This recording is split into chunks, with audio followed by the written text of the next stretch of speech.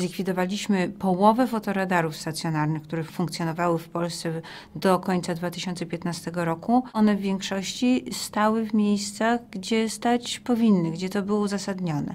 Zresztą lokalizacja tych fotoradarów Straży Miejskiej była uzgadniana zarówno z policją, jak i z inspekcją transportu drogowego. No ale trudno, zmieniliśmy te przepisy, zabraliśmy Straży Miejskiej fotoradary, coś w zamian powinno się pojawić. Wypadałoby, żeby y, zwiększyć intensywność kontroli, na przykład y, realizowanych przez policję. Mija już prawie rok i w tych miejscach nie ma żadnej kontroli albo jest ona y, sporadyczna. W miejscach, gdzie przed 1 stycznia tego roku działały fotoradary Straży Miejskiej, we wszystkich tych miejscach 73% kierowców przekraczało dozwoloną prędkość, a prędkość dozwoloną o 10 km na godzinę i więcej przekraczało około połowy y, kierowców, czyli 50 Podwyższanie mandatów niekoniecznie musi odnieść y, wystarczająco duży skutek. Z naszej wiedzy wynika, że nie wysokość kar, a nieuchronność kary